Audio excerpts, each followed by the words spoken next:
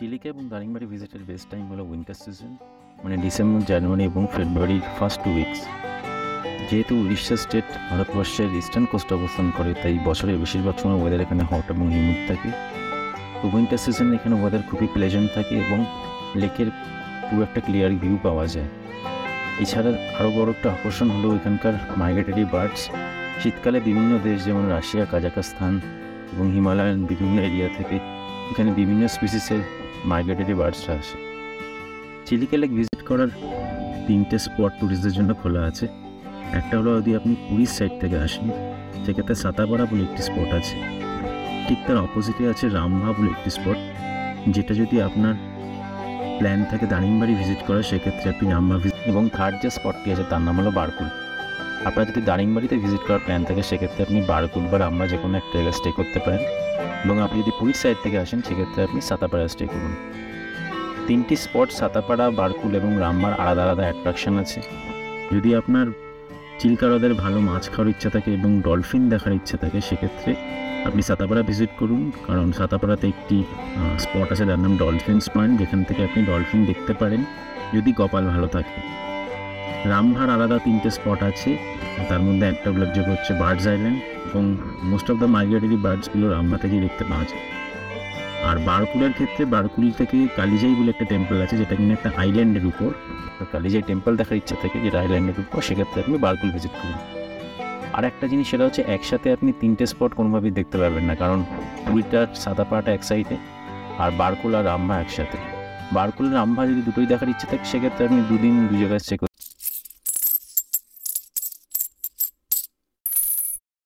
as we have plan to visit Daringbadi তাই আমরা রামভাকে সিলেক্ট করেছিলাম চিল্কা ঘোরার জন্য। রামভাতে স্টে করার বেস্ট প্লেস হচ্ছে ওটিডিসি পান্তানিবাস রামভা যেটা আপনারা ওটিডিসি অফিসিয়াল ওয়েবসাইট থেকে ইজিলি বুক করতে পারবেন। এছাড়া ওখানে কিছু প্রাইভেট হলিডে হোম এবং হোটেলস আছে বাট সেগুলো অতটা রিলায়েবল নয়। তো যদি আপনাদের রামভা ঘোরার প্ল্যান থেকে অ্যাটলিস্ট দু মাস আগে থেকে ওটিডিসিতে আপনি বুক করুন আর রামবা যাওয়ার কলকাতা থেকে অনেকগুলি ট্রেন আছে। রামবা যাওয়ার নিয়ারেস্ট রেলওয়ে স্টেশন হচ্ছে রামবা রেলওয়ে স্টেশন এছাড়া আপনারা বালুরগাঁও বলে একটি রেলওয়ে স্টেশন আছে, সেখান থেকেও আপনারা রামবা পান্তানিবাসে যেতে পারেন। বালুরগাঁও থেকে রামবা পান্তানিবাসের বাই কার ডিস্টেন্স অলমোস্ট এক ঘণ্টা লাগে। আর রামভা রেলওয়ে স্টেশন থেকে পনেরো থেকে কুড়ি মিনিট লাগে। রামভা রেলওয়ে স্টেশনে লোকাল ট্রান্সপোর্ট একটু কম পাওয়া যায় এবং একটা পার্টিকুলার টাইমের পর সেখান থেকে পাওয়া খুব মুশকিল। ওখানে রামবা রেলওয়ে স্টেশনে ডাইরেক্ট কলকাতা থেকে কোনো ট্রেন নেই। আপনাকে হয় বালুরগাঁও বা ভুবনেশ্বর বা আরেকটি স্টেশন আছে, সেই স্টেশন থেকে আপনি যেতে পারেন। রামবা যেতে গেলে একটি ট্রেন যায়, সেটা হচ্ছে ইন্টারসিটি এক্সপ্রেস যেটা কিনা যায় ভুবনেশ্বর থেকে ছাড়ে এবং দশটা দশে রামবা থেকে পৌঁছায়।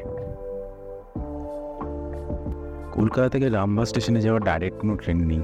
রামবা স্টেশনে একটি মাত্র ট্রেন দেয়, সেটা হচ্ছে ইন্টারসিটি এক্সপ্রেস, যেটা ভুবনেশ্বর থেকে সকালবেলা ছাড়ে এবং রামবা পৌঁছাতে দশটা কি দশটা দশ বাজে।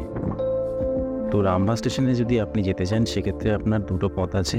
এক, আপনি ভুবনেশ্বর হয়ে রামবা যান, ভুবনেশ্বর থেকে ইন্টারসিটি এক্সপ্রেস ধরুন, অথবা আপনি বালুরগাঁও নামুন কলকাতা থেকে এবং বালুরগাঁও থেকে ইন্টারসিটি এক্সপ্রেস ধরে আবার আপনি রামবা যান। আমার মতে আপনি বালুরগাঁও নামুন, কারণ বালুরগাঁও যখন চেন্নাই মেলটা ঢোকে তার থেকে ইন্টারসিটি এক্সপ্রেসের অন্তত দু ঘণ্টার গ্যাপ থাকে। যদি কোনোভাবে ট্রেন লেট করে, সেক্ষেত্রে আপনি ইজিলি ইন্টারসিটি এক্সপ্রেস ধরতে পারবেন।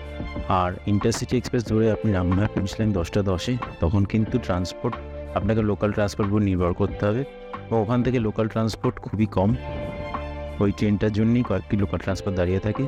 যদি আপনি বেশি লেট করেন, সেক্ষেত্রে কিন্তু লোকাল ট্রান্সপোর্ট পেতে আপনার অসুবিধা হবে।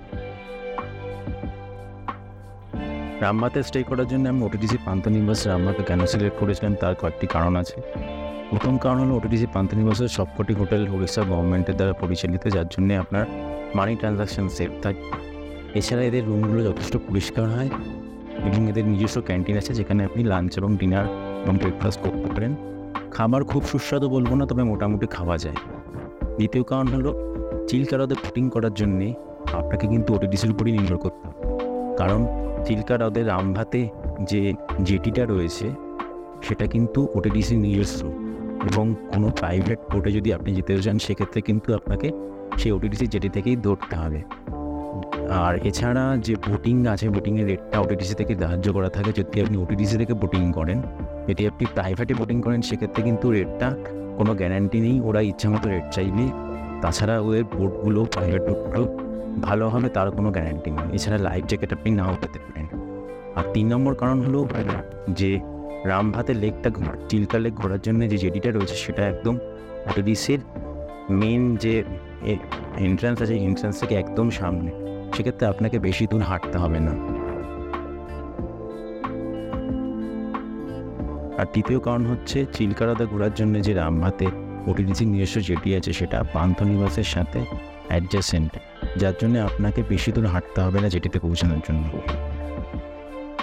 এই যে গেটটা দেখছেন, এটা হচ্ছে ওটিডিসি পান্থনিবাস রামবার পেছনের গেট এবং এই গেটের থেকেই শুরু হয় জেটিতে যাওয়ার রাস্তা। তো আপনারা বুঝতেই পারছেন কতটা সামনে রামবাতে যাওয়ার জন্য যে জেটিটা চিলকারাদা ঘোরার জন্য। তো এই রাস্তা দিয়ে যেতে হবে এবং এই রাস্তার একদম এন্ডে হচ্ছে যে জেটিটা আছে, এখান থেকেই বোটগুলো ছাড়ে চিলকারদ ভ্রমণ করার জন্য।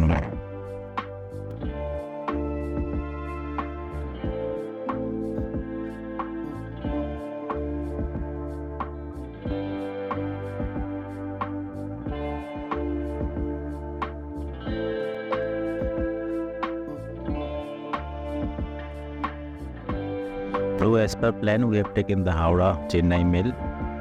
Midnight from Howrah station and reached Balugao around 8 am in the morning. Balugaon station থেকে রামভা পান্থনিবাসে যাওয়ার জন্য যদি আপনাদের পার্সোনাল গাড়ি না থাকে সেক্ষেত্রে আপনারা লোকাল ট্রান্সপোর্ট নিতে পারেন লোকাল ট্রান্সপোর্ট কিছু অটো থাকে সেই অটোগুলো ছশো থেকে সাতশো টাকা নেয় এক ঘণ্টা টাইম নিয়ে পৌঁছে দিতে এবং পৌঁছে দেয় রামভা পান্থনিবাসে সেটা আপনাকে স্টেশনের সামনে দাঁড়িয়ে থাকে এবং সেখানে আপনাকে বার্গেনিং করতে হবে। ট্রেন এবং কার জার্নি শেষে আমরা যখন রামবা পান্থনিবাসে এসে পৌঁছাই, তখন অলরেডি সকাল দশটা বাজে এবং ব্রেকফাস্ট সারার পর সেটা অলমোস্ট এগারোটা বেজে যায়। যেহেতু রামবাতে বোটিং করার জন্য চিল্কা লেকের যে বোটগুলো বেরোয়, সেটি অনেক ভোরে বেরোয়, সেহেতু প্রায় সমস্ত বোটই সেদিনের মতো বেরিয়ে গেছিল এবং সেদিন আমাদের বেসিক্যালি কিছু করার থাকে না বলে আমরা রেস্ট নেওয়ার প্ল্যান করি। কিন্তু তখন আমাদের পান্থনিবাসের যিনি ছিলেন ম্যানেজার তিনি আমাদের একটি জায়গার কথা বলেন যেটা কিনা সাইট সিং হিসেবে আপনারা করতে পারেন। রামভাতে স্টে করলে। সেই জায়গাটির নাম হলো ঋষিকুল্লা রিভার মাউথ এটা বেসিক্যালি গাঞ্জাম ডিস্ট্রিক্টের মধ্যে পড়ে এবং রামভা থেকে অটোতে যেতে ম্যাক্সিমাম এক থেকে দেড় ঘণ্টা সময় লাগে। এই জায়গাটা যাওয়ার মেন আকর্ষণ হলো এখানে কচ্ছপের লাইভ ডিম পাড়ে এবং প্রচুর প্রচুর কচ্ছপের ডিম আপনারা লাইভ এখানে দেখতে পাবেন।